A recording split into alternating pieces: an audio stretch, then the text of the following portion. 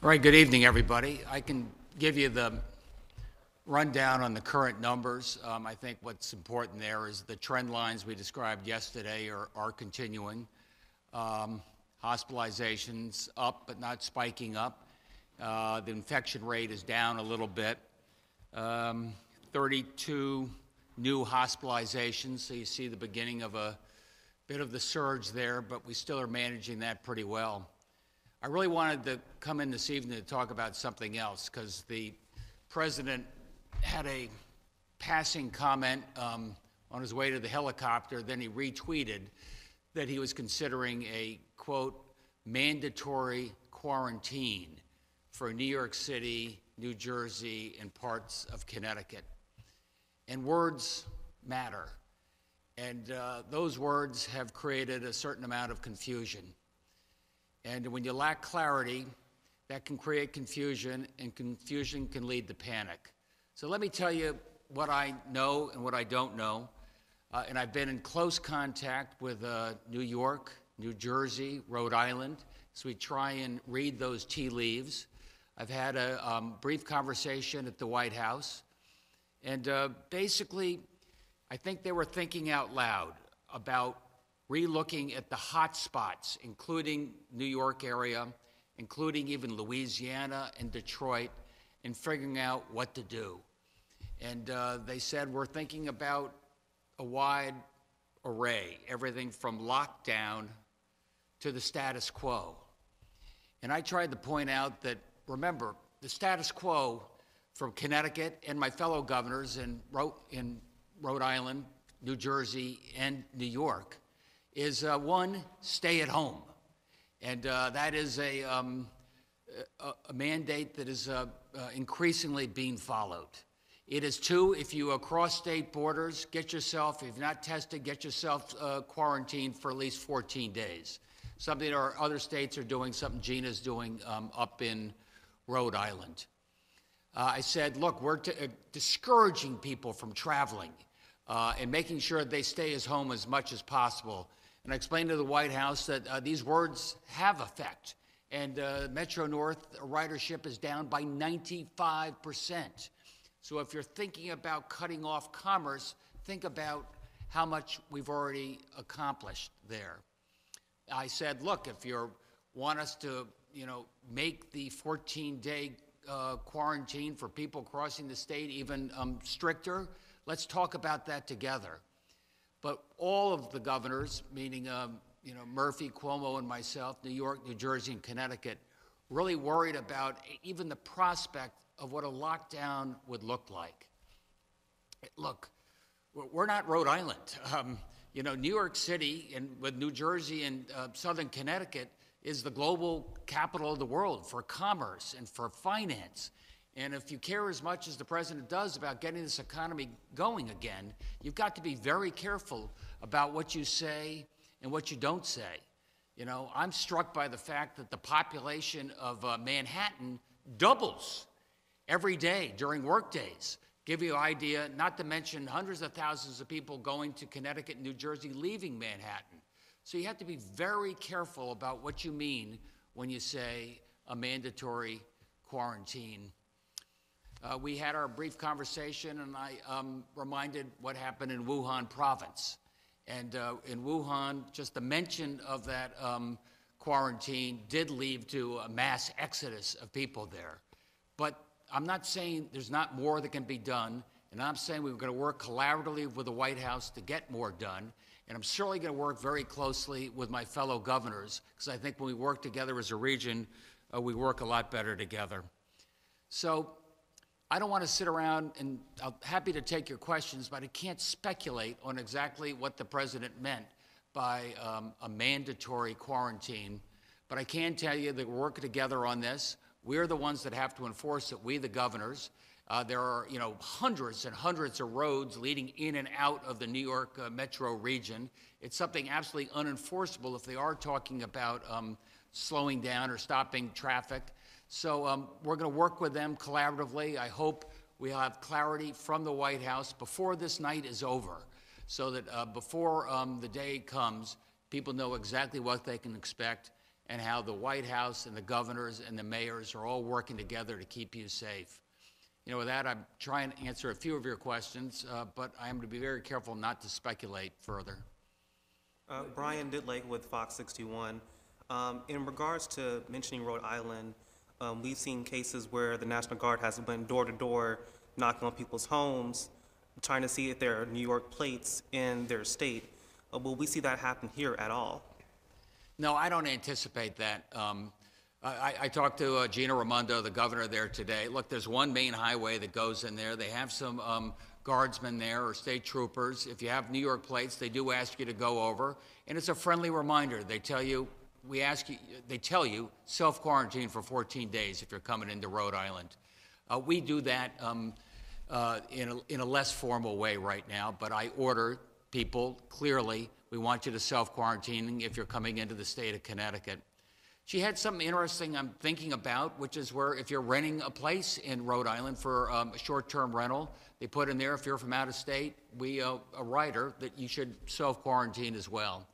So uh, we're going to be following a lot of the same social distancing rules and keeping an eye on out-of-staters coming in and out of the state, just like Florida and New York are thinking about out-of-staters coming in and out of their state. Who did you speak with at the White House? Uh, we had a high-level conversation at the White House. It wasn't the president himself. It was not the president himself. And did they tell you that they're going to, you know, be taking uh, further action to mandatory quarantine?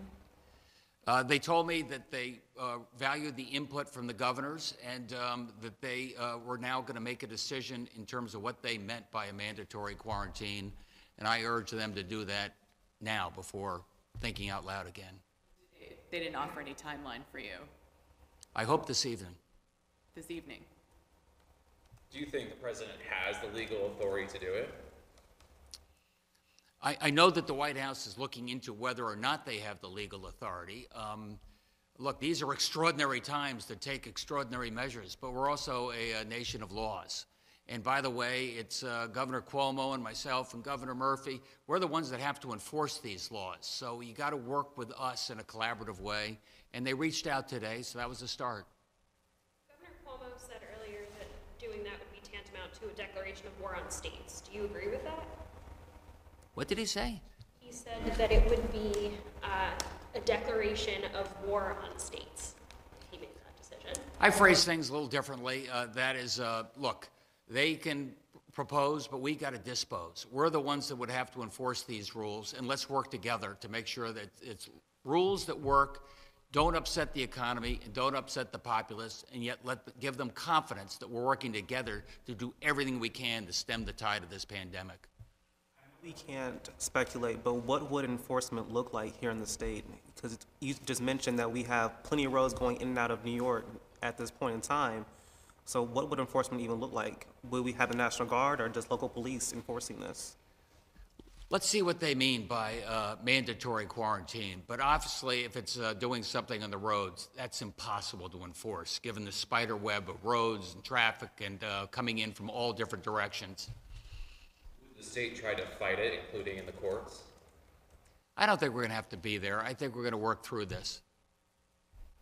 Governor, how many people died today? Do you have an, uh, an update on the number of deaths we've had?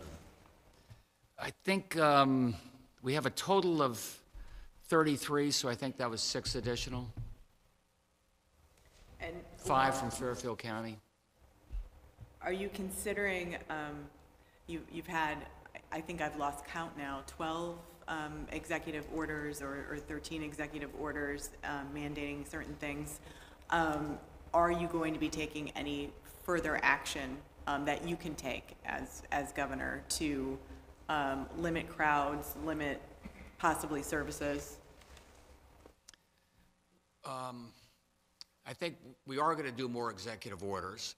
I think my first step, Christine, is um, keep talking to the White House, see what they are proposing we think about on a regional basis, and then make sure whatever I do, I do in collaboration with my fellow governors and make sure it's actually enforceable and doesn't make the situation worse.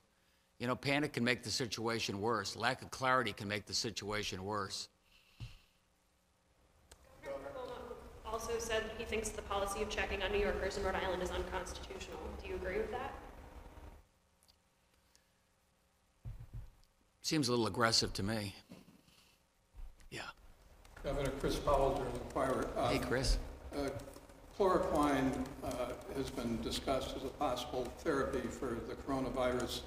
A few days ago, it was reported that Governor Cuomo had asked the president to have tens of thousands of chloroquine tablets sent to New York, and the president was said to have uh, agreed. Yesterday, in a front-page story in the Connecticut Hearst papers, there was a feature about the Wilton guy who uh, got sick at a conference in San Francisco, came back, was deathly ill, was put into an induced uh, coma, uh, but has recovered and is now at home. In the body of the story, deep down, I think they buried the lead. Uh, the Hearst papers reported that he was cured uh, by a combination of chloroquine and an antiviral drug called Kaletra. Uh, there have been reports in And other places that chloroquine, in combination with an antibiotic Zithromax and zinc, uh, has had very good effects. There was Chinese research about this on the internet three or four weeks ago.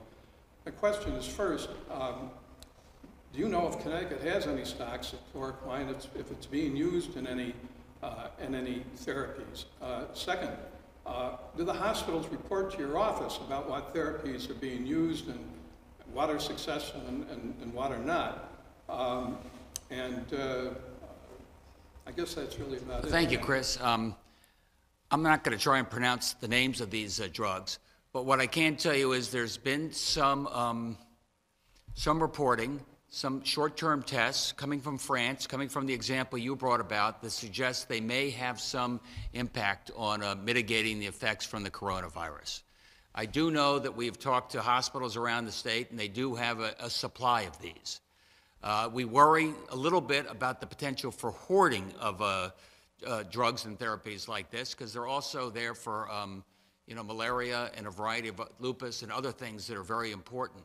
But what I don't want to do is tie the hands of our doctors either. I want to make sure they have the freedom to um, prescribe this where they think it could be effective. We know it's been out there in the marketplace for years now from a safety point of view. Now we're testing the effectiveness. One more thing, Governor, the British press has reported that uh, the British government has recruited more than a half million volunteers, mostly lay people, but also the retired medical people you've appealed to, uh, to form a volunteer corps for the National Health Service over there. Um, Is there uh, any contemplation of uh, trying to form a, a volunteer corps for our hospitals here in Connecticut? I think that's a great idea. We are trying to do that right now. Um, I've got a PSA out there. We've had a thousand nurses who have come back from uh, retirement.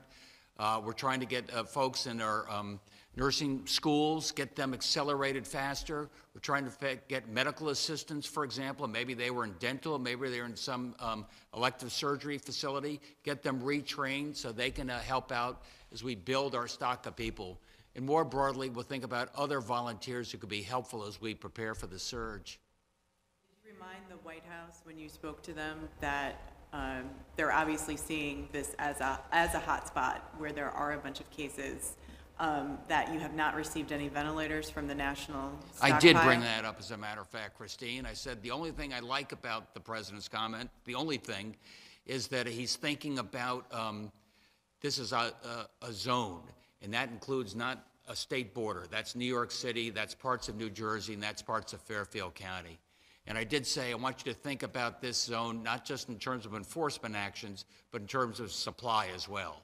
Because I think that, uh, you know, Andrew Cuomo is never going to be able to put out the fire in New York unless we can put out the fire in Fairfield County. And that includes ventilators, that includes PPE, and all the other material we need. We've got to be in the front of the line, right alongside our other neighbors who are part of this uh, hot zone. Has there been any progress on that since yesterday? Not much. Okay. Little bit. I mean, the volunteers are coming forward. We're doing everything we can internally, and we are getting hundreds and hundreds of uh, pieces, but not on the scale that we need. We've heard a lot of people saying that they think that many people are not staying home, too many businesses are open. Do you agree? Do you think there, there needs to be tougher restrictions right now? Um, Let's talk to my neighbors and let's talk to the uh, White House on that. If, if they think we have too broad a definition of essential services, maybe we should do something together. But I'll tell you, like I said, the rails are, are, are empty. The roads are increasingly empty, and I think people are prioritizing essential services and stay home where they ever can. Speaking of essential service, uh, services, Governor, um, we were there as the National Guard received supplies in Shelton yesterday. Um, do you have an update on National Guard operations in the state? On the guard operations in the state, you said? Correct. I can tell you they've been valuable for us, uh, helping us get the field hospitals going, helping us, um, you know, get transport materials between different hospitals right now. I know that in some other states, they're helping with heat sensors and patrolling uh, ingress and uh, to some of our major facilities. Uh, they've been invaluable. I want to be treated like the other states, though, when it comes to having the feds pay for our uh, guard services. You know, again, right now, I think it's California, uh, Washington State, and um, in New York State. You know, we are part of that hot zone. We should be treated the same way. Governor of the South Langston News 8, piggybacking on these comments, we too have been getting reports from our viewers about a number of incidents where a large number of people are gathering ignoring the social, the social distancing guidelines. What is your message to those people who are doing this? You're endangering yourself, you're endangering your neighbors, and you're endangering your family. Take this absolutely seriously. I've asked our police to um, go in and, and break up those groups and tell them on a friendly basis, uh, you've got to separate. We've got uh, volunteers going to our park system uh, this weekend, as long as it stays dry. Again, going to those groups of young people often that aren't taking this as seriously as they can and uh, separating them and say maintain the social distance. It's in your best interest, but it's in the community's absolute best interest. Do you see a tougher stance coming down the road if this continues? Yep, What would that look like? to be determined. Did they give you any indication about a response to the request for the major disaster declaration that you sent a couple days ago? No, I, I can tell you we're moving on that pretty hard, and our, um, our congressional team, led by uh, Senators Murphy and Blumenthal, are pushing that. I think we'll have some good news on that. I can't tell you when. Thank you, everybody.